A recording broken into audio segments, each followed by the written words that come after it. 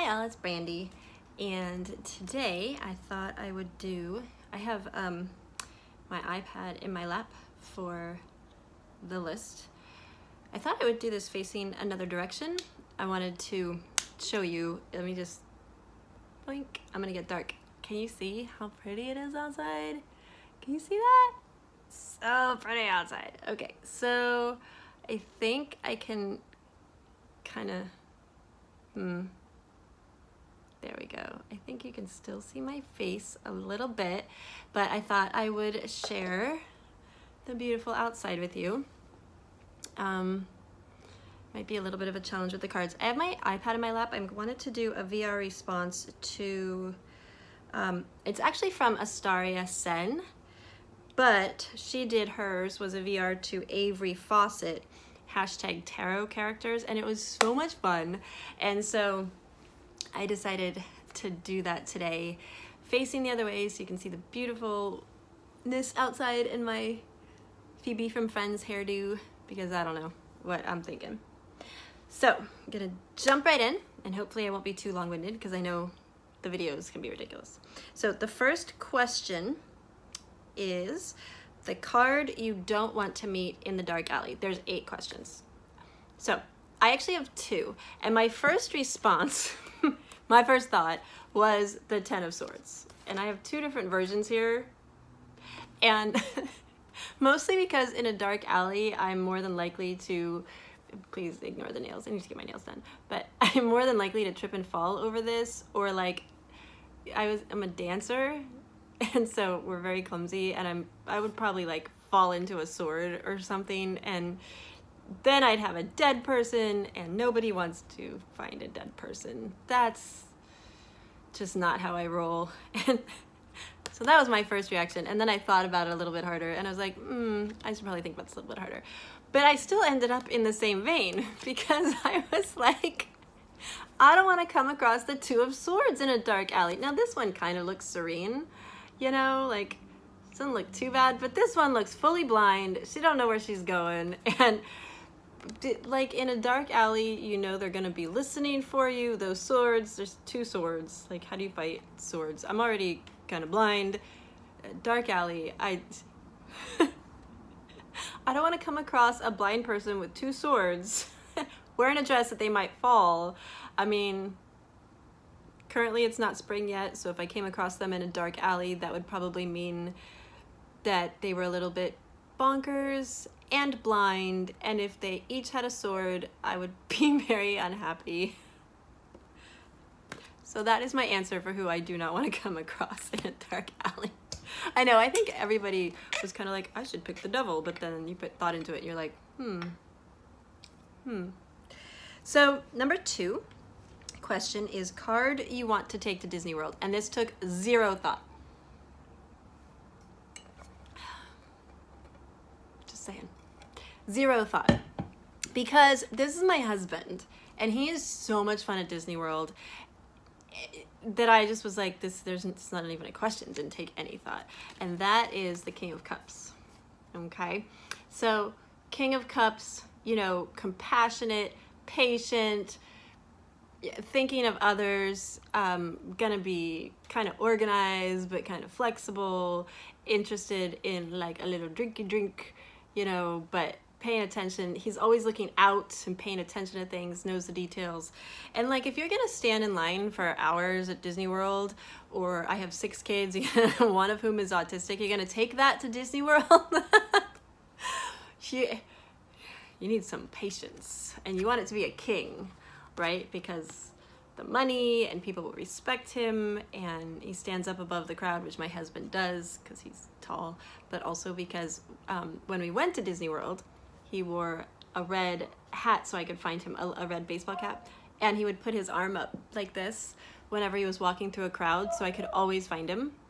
And I just love, you know, he's got the crown, he's got the staff, which he could put up in the air if you needed to find him or if he needed to beat some people back. You know, that's not happening at Disney World, but you get my point. So number two answer is the King of Cups. So I apologize about the lighting. Facing back so you can see the prettiness means it's gonna go in and out, which could be annoying. And also the dogs are barking because they're getting walked and so they get very excited. Sorry, it is what it is.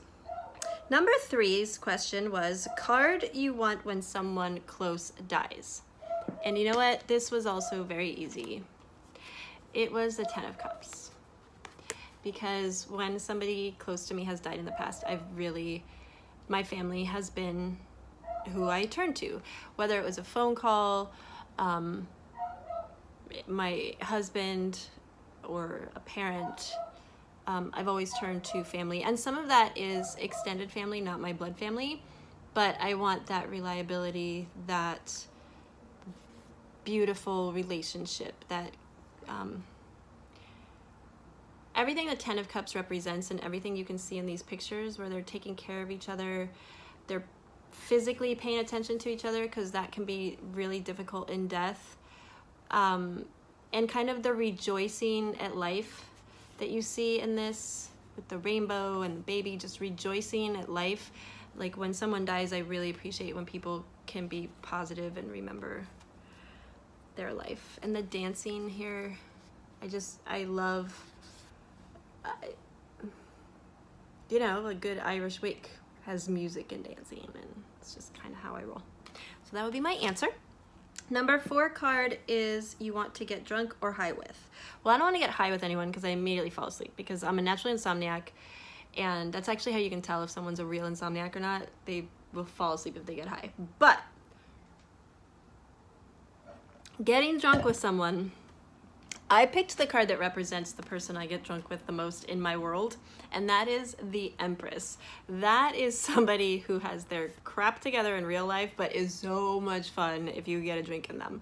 Um, and it doesn't have to be a female, but like the love everyone, be happy. If they were drunk, they would probably be laughing, they would probably be music and just overall frivolity and not the kind of person who's gonna start hitting people or fighting with people, you know, not nasty drunk, like a happy, joyful person who, you know, probably has some kids or likes to take care of people because we want to be able to get up the next morning.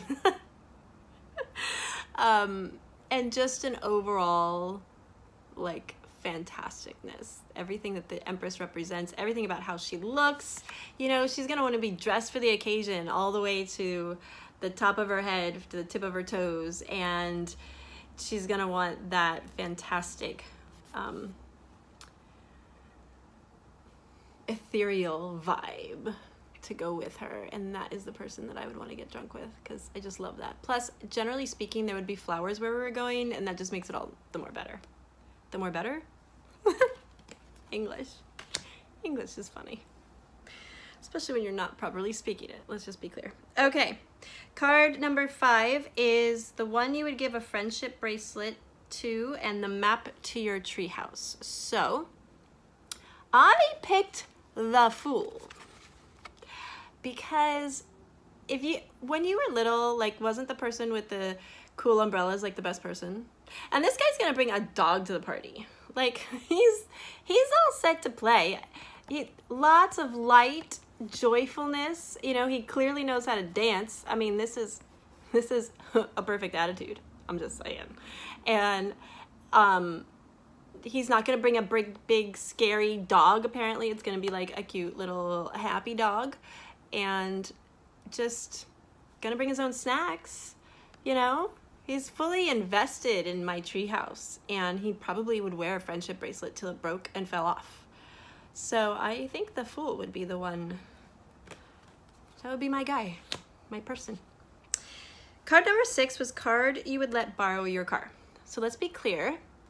I picked this one because it has my initials. And this is clearly me. I'm not to give my card to anyone.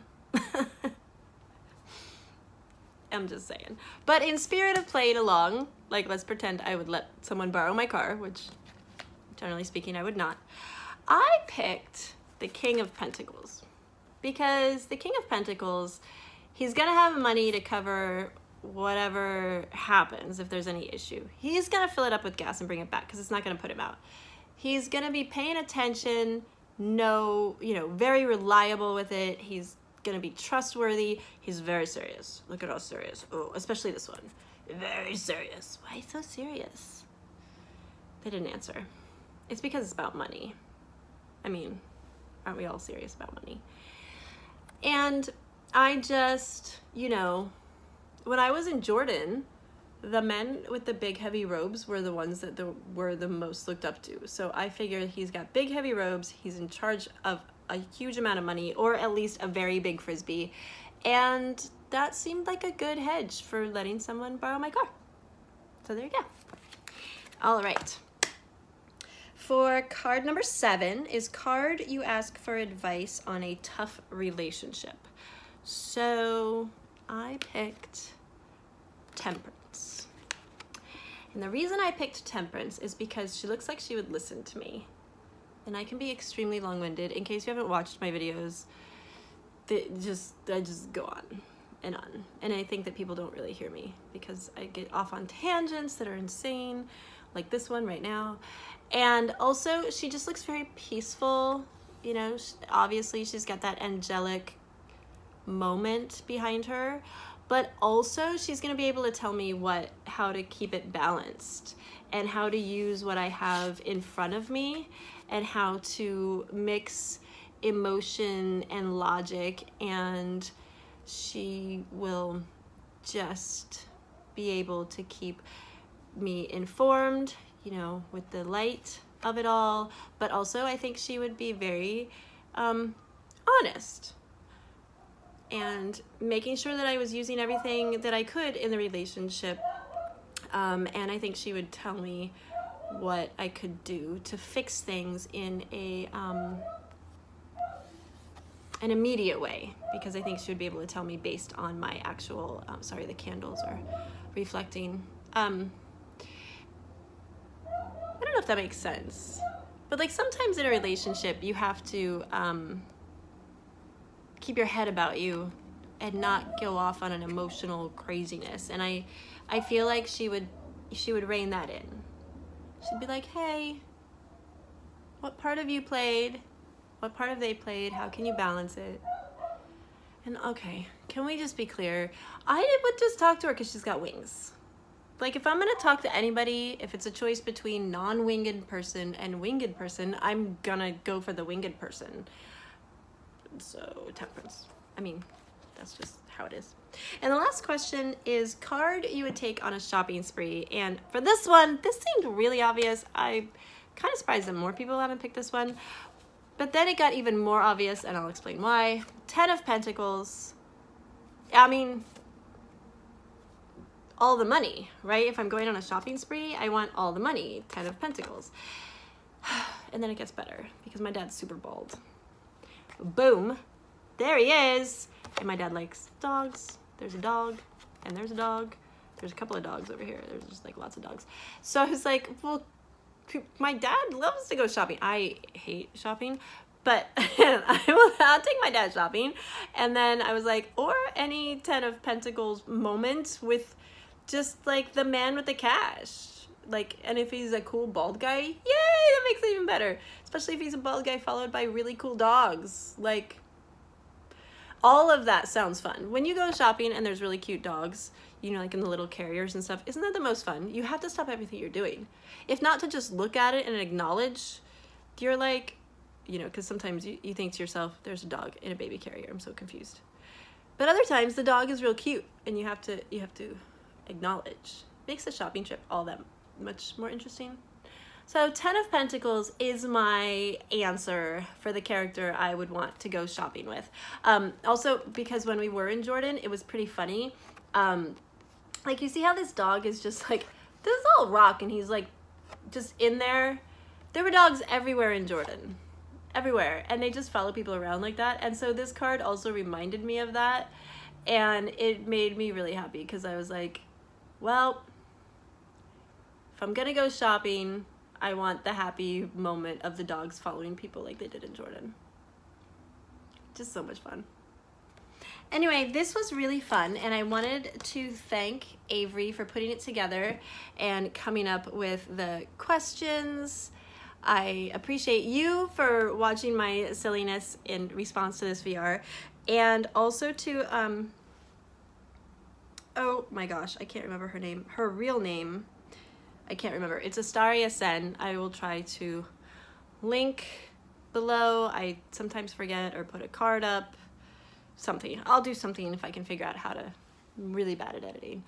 Um, otherwise, do me a favor. If you do this VR, please just let me know down below if you're thinking about it so I can find you. I am going to try to watch them because sometimes I don't physically watch them. I listen to them as I clean and do stuff during the day. Um, but it's really fun and I'd love to hear the stories that people come up with.